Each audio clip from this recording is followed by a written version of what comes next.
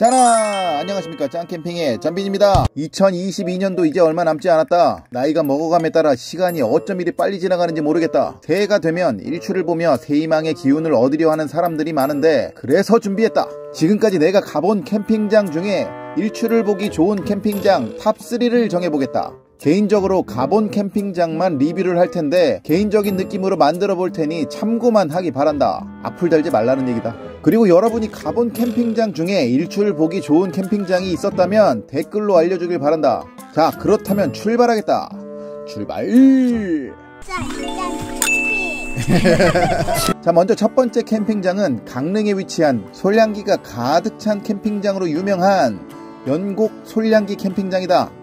캠핑장은 A, B, C, D, E 사이트로 나뉘고 A는 대형 데크, B는 소형 데크, C는 소나무 아래 흙밭, D는 카라반, E는 자동차 캠핑장이다. 영국 소량기 캠핑장의 첫 번째 장점은 강릉시에서 운영하는 캠핑장으로 금액대가 저렴하다는 것이다. 비수기 주말에 최대 32,000원이고 성수기에도 45,000원으로 납득할 만한 금액을 가지고 있는 캠핑장이다. 두 번째 장점은 사이트 간의 간격이 넓다는 점이다. 바다 바로 앞이 명당짜리라고 하는 사람도 있고 오히려 높은 사이트가 명당짜리라고 하는 사람도 있는데 내가 봤을 때 여긴 모든 사이트가 거의 명당 사이트다. 취향의 차이라고 볼 수 있을 것 같다. 도심에 일자형 다닥다닥 붙어있는 캠핑장만 다녀봤다면 이런 형식의 사이트를 경험하고 나서는 도심의 캠핑장 못 다닐 수도 있다는 부작용도 있다. 세 번째 장점은 매점은 따로 없지만 바로 앞에 편의점이 있다. 편의점 음식으로 끼니를 해결할 수도 있고 또 입구 바로 앞에 횟집이 있어서 오징어회를 저렴하게 구매할 수 있다.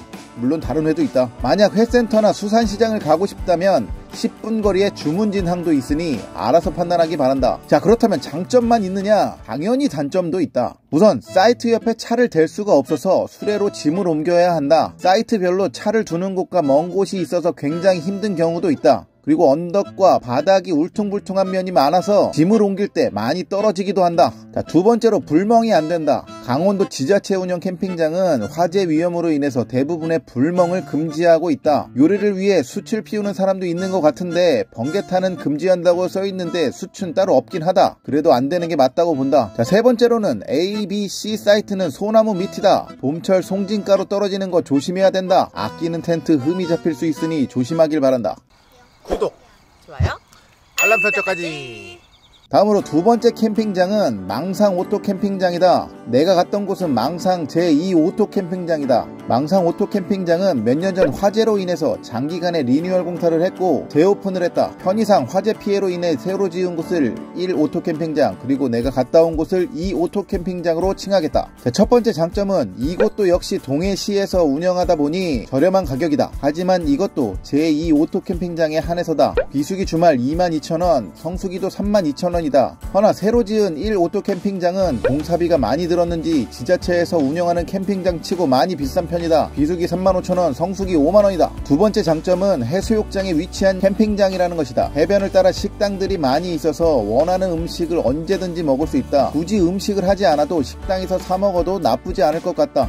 자, 세 번째 장점은 유명한 해수욕장이다 보니 놀거리가 많다는 점이다. 여름에는 다양한 수상 액티비티들을 즐길 수 있고 해수욕도 즐길 수 있다. 물놀이 이후엔 캠핑장 샤워실도 즐길 수 있으니 부담 없이 바다를 즐길 수 있다는 장점이 있다. 자, 다음은 단점이다. 첫 번째, 해수욕장이 근처인 캠핑장이라 인파도 많고 시끄럽다. 목도 있고 잡채, 전, 뭐 이렇게 캠핑장 바깥쪽보다는 안쪽으로 들어가는 걸 추천한다. 다리를 잘못 잡으면 동물은 원숭이가 될 수 있다. 지나가는 사람 다 쳐다봐. 두 번째, 바다가 바로 앞에 위치한 캠핑장은 아니라 캠핑장에서 바로 바다가 보이진 않는다. 대신 캠핑장을 나와서 1분만 걸으면 바로 모래사장이 나온다. 자, 세 번째, 캠핑장 옆으로 기차길이 있어서 기차가 지나간다. 기차가 지나가는 소리가 꽤 크게 들리는데 처음에 무지하게 거슬리다가 어느 순간 백색 소음으로 들리게 되는 신기한 경험을 하게 된다. 짠짠 짱캠핑 세 번째 캠핑장은 울산에 위치한 당사 현대차 오션 캠프장이다. 현대차에서 사회 공헌비 30억을 기부하면서 울산 북구와 함께 만든 캠핑장으로 우리나라의 유일무이한 바다 위에 지어진 해상 캠핑장으로 유명하다. 이 캠핑장의 첫 번째 장점으로는 그냥 바다 위라서 내 텐트 안에서 일출 view를 볼수 있다는 것이다. 내 사이트가 그냥 바다 위다. 아주 황홀한 하룻밤을 맞을 수 있다는 장점이 있다. 두 번째 장점, 생긴 지 얼마 안 된 신생 캠핑장이라 시설이 깔끔하다. 화장실, 개수대, 샤워실이 크진 않지만 깔끔하게 운영되고 있다. 세 번째 장점, 파도 소리 때문에 이웃 간의 소리가 크게 신경 쓰이지 않는다. 옆 사이트에서 들려오는 취향에 맞지 않는 블루투스 공격이나 왁자지껄한 소리보단 파도 소리가 낫지 않을까 싶다. 마냥 좋을 것 같은 해상데크 캠핑장의 단점은 생각보다 많다. 자, 첫 번째로 파도 소리다. 파도 소리 좀 전에 말하지 않았냐 장점으로 할 수도 있는데 단점도 있다. 바다랑 가까운 정도가 아니라 바다 위다 보니까 바람이 좀 센 날은 파도 소리가 천둥처럼 들린다. 그럼 그때 당시 심경을 들어보겠다. 이 오션뷰가 장점이긴 하지만 반대로 단점일 수 있는 게 있다면 이 파도 소리예요. 파도 소리가 사실 어저께 잠을 잘 때 너무 시끄러웠어요. 그래가지고 제가 거의 진짜 한 3분의 한 번꼴로 일어났습니다. 와 정말 시끄럽고 막 이래가지고 와 정말 한 3분에 한 번씩 깼어요. 와 사실 누구 뭐 옆 사람 코 고는 거나 그러면 옆 사람이 깨워주던가 아니면 코는 이제 한번 골고 좀 있다가 좀 쉬었다 가잖아요.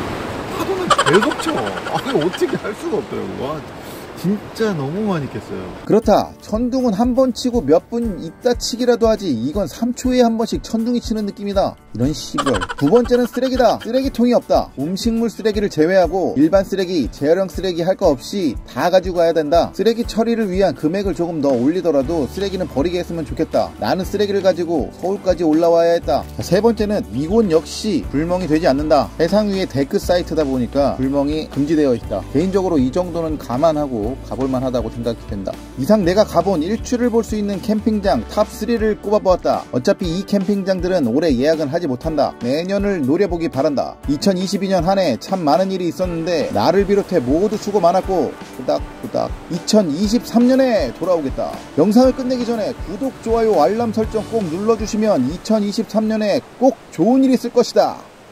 자, 자, 자, 대피!